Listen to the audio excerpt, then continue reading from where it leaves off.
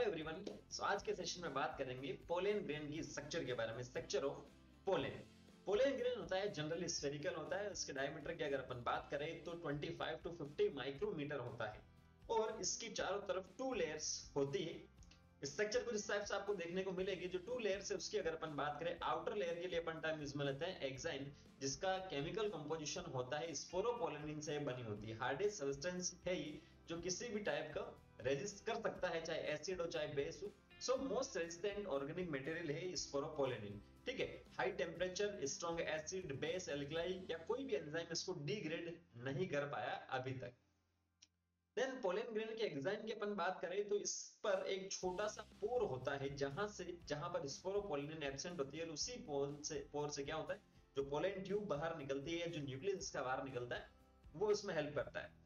Pollen grain की अगर अपन बात करें तो ये फॉसिल्स के रूप में वेल प्रिजर्व रह सकते हैं बिकॉज़ ऑफ़ स्पोरोपोलिन ठीक है? और यहाँ पर एक स्पेसिफिक पैटर्न होता है डिज़ाइन होता है एक्साइन का अलग अलग स्पीशीज के पोलेन में। इनर वॉल की अगर अपन बात करें तो वो होता है एंटाइन जो बना होता है पेक्टोसेल्यूलोज का। मतलब पेक्टिन और सेल्यूलोज दोनों से ये मिलकर बना होता है थिन होता है कंटिन्यूस होता है मतलब इसके चारों तरफ़ किसी भी टाइप का कोई भी पोर नहीं होता है कंटिन्यू होती है, जो भी लेयर होती है वो, और बिल्कुल थिन होती है।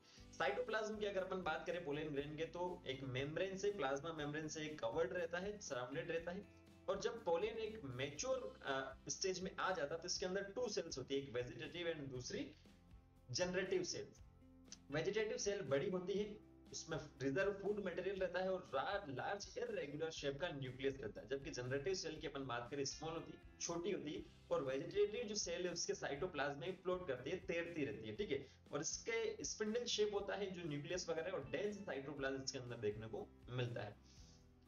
नेक्स्ट बात करें 60 परसेंट एंजियोस्पर्म के अंदर जो पोलन ग्रेन होता है, वो टू सेल स्टेज में, एक तो वेजिटेटिव और दूसरा जनरेटिव टू सेल्स उसके अंदर होता है। बट बाकी जो बचे हुए स्पीशीज हैं उसके अंदर जनरेटिव सेल डिवाइड होती है और डिवाइड होगी तो वन टू टू बनेगी। टोटल अपने पास कितनी सेल हो जाएगी?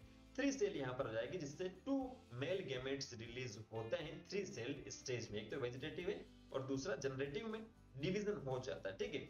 माइटोटिक डिवीज़न होता है, इसलिए वन टू टू सेल्स का फॉर्मेशन वो कर देता है।